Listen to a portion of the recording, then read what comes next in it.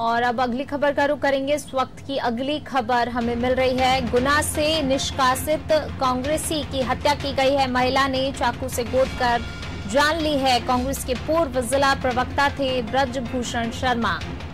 और बड़ी खबर गुना से आपको बता रहे हैं, निष्कासित कांग्रेसी की हत्या की गई है। महिला ने चाकू से गोद कर जान ली है। कांग्रेस के पूर्व जिला प्रवक्ता थे ब्रजभूषण शर्मा और एक महिला ने चाकू से गोद कर उनकी जान ले ली। निष्कासित कांग्रेसी की हत्या की गई है। गुना से ये खबर आपको बता रहे हैं। महिला ने चाकू से गोद कर कांग्रेसी की जान ली है। कांग्रेस के पूर्व जिला प्रवक्ता थे व्रत भूषण शर्मा और एक महिला ने चाकू से गुद कर उनकी जान ले ली।